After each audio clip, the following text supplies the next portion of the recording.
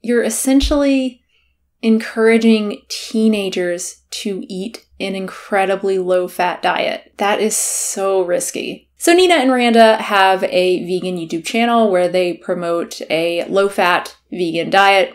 It's actually a very low fat vegan diet. They do not eat any overt fats, overtly fatty foods. No nuts, no seeds, no avocado, no oils, because they say that these foods break them out. So when they were about 20, I think this was like four or five years ago, they all of a sudden got uh, like really severe cystic acne. They think this is because they started using um, like oily products on their skin, like makeup and stuff. So they went to a dermatologist. They were able to clear it up with antibiotics, but once they got off of the antibiotics, the acne came back. So eventually they figured out or suspected that it was certain high fat foods that they were eating. They were eating a vegan diet. They've been vegan since birth, but they thought that it was high fat foods like peanut butter that were making things worse, that were, you know, aggravating their acne. So they decided to completely avoid any, again, overtly fatty foods, and their acne cleared up within six weeks. So they have a few videos where they talk about this. That whole kind of story was mostly from their uh, interview with Brian Turner. They also have this video from a few years ago, I think like right after they cleared up their acne. And then they have this very recent one, this talk that they gave on clearing up their skin at Plantstock. So if it were just them like sharing their experience and saying this is what worked for us, then it, it wouldn't be that big of a deal. I mean, I understand that acne, especially acne like that, severe cystic acne, is just horrible. And clearly they've found something that works for them. But unfortunately, they aren't just sharing their experience, they're also heavily promoting this way of eating, promoting it as the key to getting rid of acne. They've even written a book, they even did a pilot study, seemingly to try to make this seem as credible and scientific as possible. Like I said, they even paid for a pilot study. They talk about this in the talk um, at Plantstock. They also talk about it on their FAQ page for their book, The Clear Skin Diet. We put on a pilot study supervised by Dr. Steve Lewinda of Kaiser Permanente of 130 individuals with moderate to severe acne. Most participants were able to stop their acne with the diet. So, in their talk, they share uh, some pictures and stories of other people who were successful on this very low fat vegan diet. Of course, they don't share any pictures or stories from the people who were not successful. Um, in fact, they, they don't mention this at all. They act like everyone who tried it was successful. Although, again, um, as I just quoted from the FAQ, they say most participants were able to stop their acne with the diet. In other words, most, but not all. They even include vegan bodybuilder Brian Turner in this like list of people who've been successful, and they say that he followed um, a lot of the same principles as their diet. This is Brian Turner, and he used a lot of the same principles of the Clear Skin diet. He was actually a coach for our Clear Skin Acne Intervention Program, and he had tried Accutane for two years, and it failed him. The only thing that worked was changing his diet. But what they don't say is that he doesn't avoid overt fats. He eats foods like peanut butter and tofu and avocado. I think it's kind of interesting what you guys are saying is um, maybe not only peanut butter, but you're saying peanut butter is something that triggered you guys really hard. Mm-hmm. Yeah, yeah. High fat foods. It's an interesting point because for me, peanut butter doesn't do anything. Yet, according to Nina and Randa, one of the keys to getting rid of acne is eating a very low fat diet. So they've talked about their personal experience with the diet, they've talked about the experience of other people eating this way, clearing up their acne, and then they get into the science, quote unquote, behind this diet. So, where does this diet come from? It comes from cultures around the world where nobody gets acne. So they talk about the Okinawans, whose traditional diet was very, very low in fat. Um, they talk about some other cultures as well with low fat diets and no acne. But that's not the whole story. They are completely ignoring other cultures, people who did not eat super, super low fat and yet had no cases of acne, like the Inuit. The Inuit, of course, ate a very high fat animal based diet and yet also had no acne. The Kitavans are another um, interesting example. They do eat a low fat diet, but it's much higher in fat compared to Nina and Randa's. It's about 20% fat compared to their like 5 to 10% fat. And most of their fat is saturated fat. Most of their fat is coming from coconut. Of course, Nina and Randa's diet is very, very low in saturated fat. The Kitavans eat very differently from Nina and Randa and, you know, like your typical low fat vegan and yet still no acne. And even the Okinawans, who Nina and Randa have used as an example, even they eat quite differently from, again, your typical low fat vegan, how uh, Nina and Randa are eating. As they themselves point out, uh, most of their diet, the traditional Okinawan diet, is sweet potato. They eat very little rice, uh, very little of other grains as well, whereas Nina and Randa, as they say, they eat a ton of rice. Rice? Is rice cool for you guys? Or no? Yeah, we Rice love we great. eat rice literally White or brown is multiple fine. times a day. My point here is that all of this evidence that Nina and Randa have presented for their diet, their personal experience, um, you know, the experience of other people, you know, their pilot study, and then also this cherry picked like narrative of what traditional cultures without acne have eaten. It just doesn't amount to much. Eating ultra low fat may work for some people, but to explicitly say that this is the key to clearing up acne is totally misleading and wrong. Again, not everyone saw results in their study. Uh, people like Brian have cleared up their cystic acne, but they are not completely avoiding, you know, fatty foods. People in the comments of their video say that the diet didn't work for them, but that eating more fat did. The truth is, not much is known about the link between diet and cystic acne, or even acne in general. It seems like there may be a link between certain foods and acne, specifically high glycemic foods, um, and to a lesser extent, dairy foods, but results are inconsistent. And there certainly isn't any quality research suggesting that cystic acne sufferers should avoid fatty foods completely. A pilot study of a few people that you, you can't even read. I mean, they say they document examples in the book, but this doesn't appear to be peer reviewed at all. It doesn't even seem like they had any sort of control. Yeah, that doesn't count as quality research. This is why I find what Nina and Randa are doing so frustrating. Not just them, but anyone who's trying to sell a diet as the end all be all diet for clearing up acne. You know, people are going to be let down because this diet is not going to work for everyone. And when you're telling these people that this is going to work for you and then they try it and it doesn't, that's just a really awful thing to do to people. Also, when it hasn't worked for someone, then it's only served to delay them getting help, which can be really bad with acne because of scarring. The longer you wait, the longer you deal with this severe acne, the higher your chance of permanent scarring, which is why dermatologists are often so quick to recommend drugs like Accutane because it's very effective and they want to minimize scarring for their patients. And finally, the diet that they are promoting, this ultra low fat diet, may be harmful. No matter how much Nina and Randa insist that their diet of just fruits and vegetables and grains and beans, no nuts, no seeds, no avocado, no oils, as much as they insist that this diet is an abundance diet and that it's actually full of comfort foods, Starches, potatoes, sweet potatoes, whole grains, fruits, and vegetables. And these are all the foods that you can enjoy. They're comfort foods. You can have brownies, uh, baked fries, bean burgers, all super delicious. And our motto is we eat and enjoy. It is, in fact, a very restrictive diet. There is no major dietetic organization promoting such a diet and promoting that people avoid healthy fats. But according to Nina and Randa, this is totally fine and totally safe. So, again, from their FAQ page, but don't we need more good fats? Do I need an omega 3 supplement like DHA or EPA? And they say, no, the amount of fat in the clear skin diet is plenty. It's important to understand that vegans actually have more omega 3 fats in their blood compared to people who eat fish, meat, and a lot more fat. So, first, no, vegans do not have more omega 3 fats in their blood. They are basing this off of one study, which actually found that while the vegan women had the highest DHA levels compared to the other women eating uh, meat, eating fish, they had the lowest EPA levels, and it was reversed for the vegan men. They had the highest EPA, but the lowest DHA.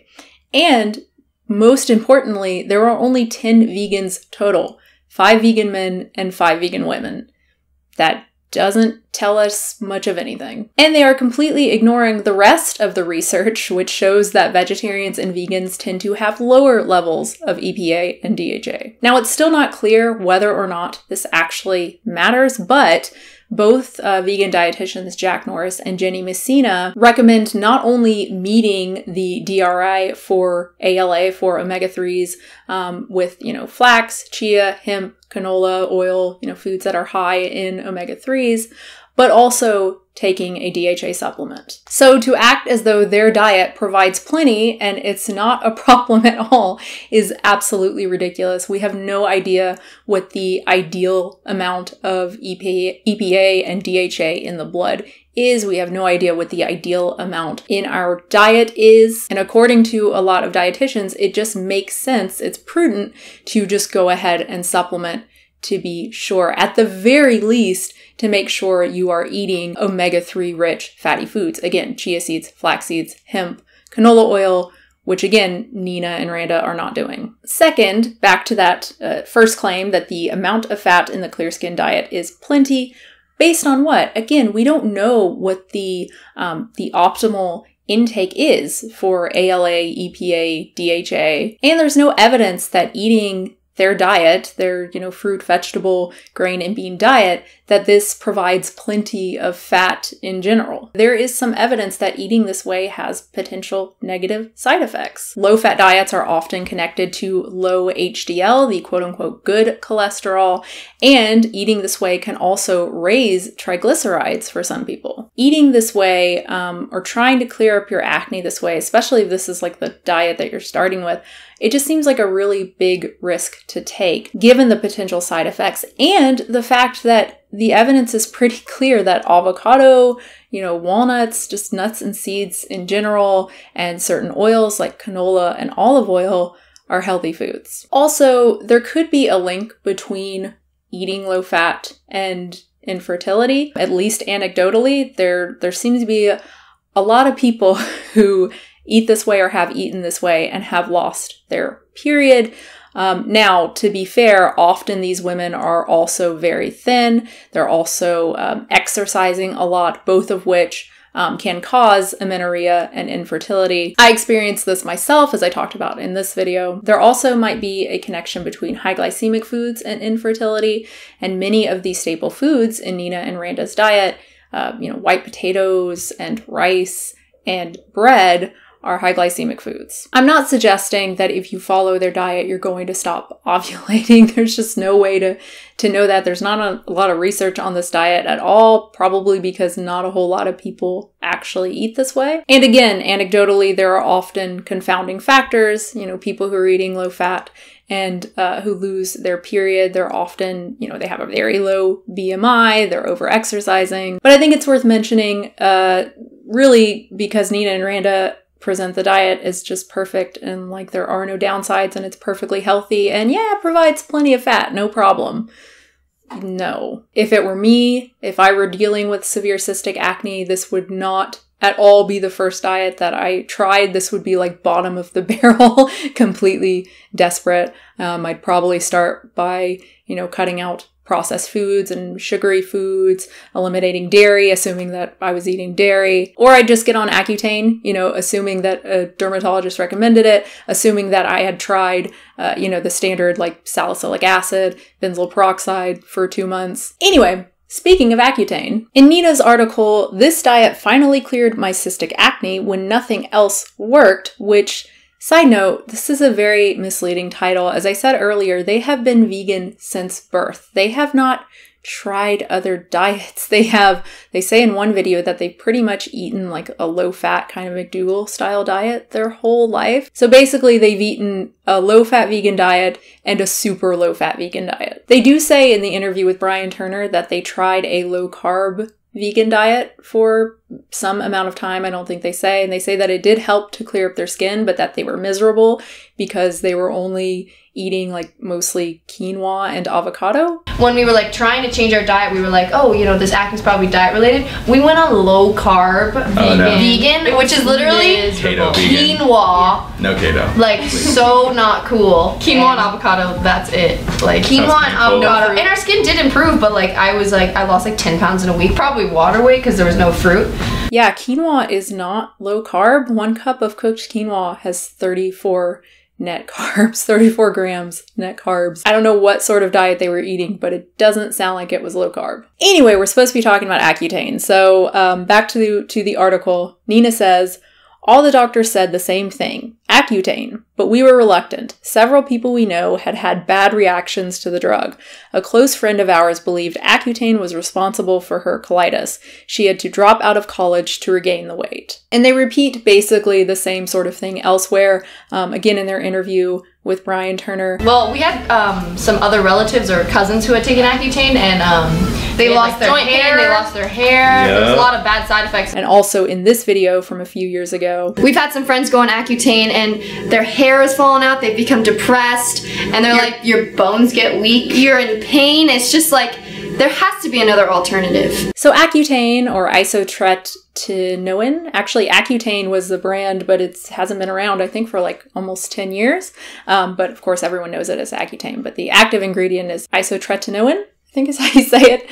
Um, it is a very, very effective treatment for severe cystic acne. It's not something that you would give to, you know, someone who's like, ah, I have a few pimples, right? That's not what it's for. Um, because it is a serious drug with serious side effects, particularly uh, involving fetal development, which is why in the US, women have to take, uh, I believe it's two pregnancy tests before getting on Accutane, two negative pregnancy tests. They have to take uh, more pregnancy tests during treatment. Treatment is often, I think, four to six months. And they also have to agree to have two forms of birth control. So you absolutely do not want to get pregnant while you are taking Accutane. But for the person, for the person who is taking Accutane, the most common side effects are pretty mild. It's mostly like dry skin, uh, chapped lips, and the more serious side effects, the one that you often hear people talk about, are rare. Some have suggested that there is a link between Accutane and IBD, but this isn't supported by the research so far. And if there is a link, it might be more likely that it's just having severe acne that increases one's risk for developing IBD not Accutane. There also may be a causal connection between Accutane and depression, although that's not clear either. Point is, this is not a drug for acne. This is a drug for severe acne, for cystic acne, for people who have not responded to over the counter treatment. Again, salicylic acid, uh, benzoyl peroxide. It is very, very effective, but again, it is a very, very serious drug. So the benefits have to outweigh the risks. To be clear, I'm not suggesting that everyone with cystic acne should get on Accutane. I'm not a doctor. I'm not a dermatologist. Um, I'm also not suggesting that Nina and Randa made the wrong decision by, you know, altering their diet instead of getting on Accutane. This is a very uh, personal decision. Obviously, it's something that each individual has to decide for themselves in consultation with a dermatologist, ideally both a dermatologist and a GP. But to act as though it is this super dangerous drug for the person taking it is just not true.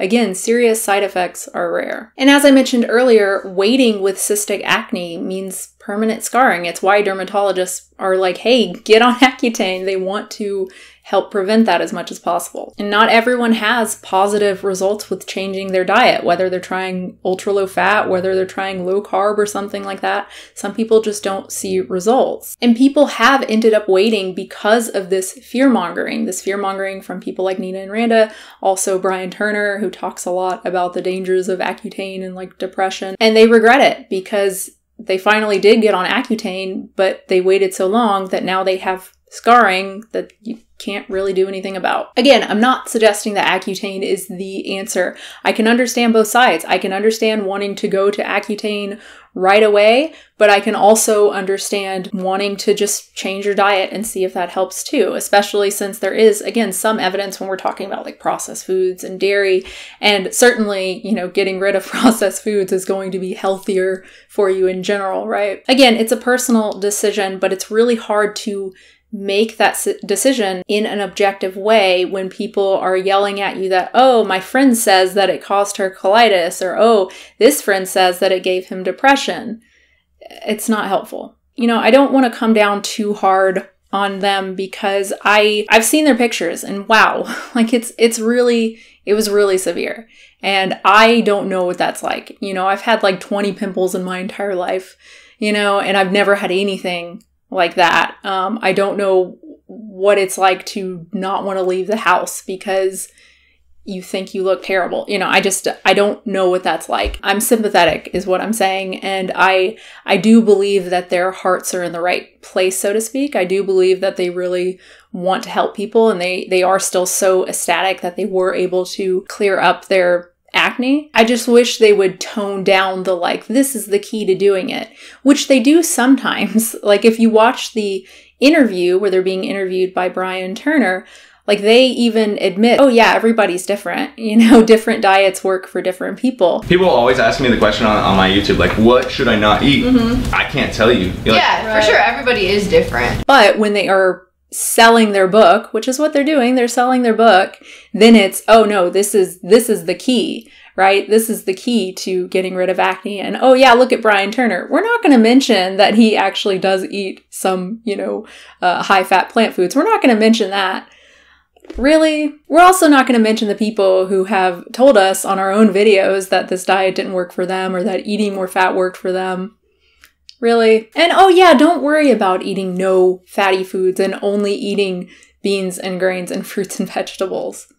Really? It's just like the weight loss stuff, right? We we want there to be one diet low fat vegan or low carb or whatever. Like we want there to be one diet that works for everyone and is super effective and everybody lose weight loses weight and yay, no more obesity. But that's like the evidence is clear that's not how it works. That these diets work for some people, very few people. For most of us, diets just don't work. Maybe we can lose the weight for a while, but we end up gaining it back. For acne, maybe ultra low fat works, maybe low carb works, maybe just a, a healthier diet in general. You know, just cutting out sugar works we don't know. We can't foresee that. You know, it's it's just it's just trial and error. And I think we really need to be careful. Nina and Randa particularly need to be careful because I'm I'm assuming that their audience is made up of a lot of young women, right? I mean, a lot of people who are dealing with cystic acne are in their teens, right? So you're you're essentially encouraging teenagers to eat an incredibly low fat diet. That is so risky.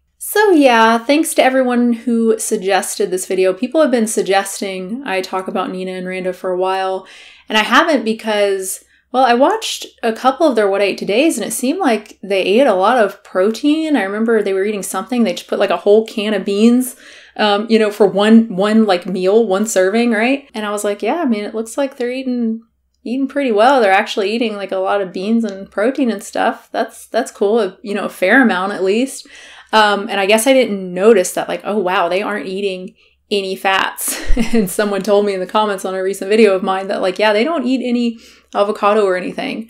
It's like, oh, okay. I thought they were just standard low fat. I didn't know they were like ultra, ultra low fat. So, um, so that's why I started looking into more of their their acne stuff and their claims and was concerned and a little bit frustrated, but not really surprised, if I'm being honest. Anyone selling a book called The Clear Skin Diet, they're probably probably going to be making some pretty grandiose claims. Anyway, thanks for watching. Really hope you enjoyed it. Subscribe, that's cool. Support the channel, patreon.com slash unnaturalvegan, and I will have a new video very soon.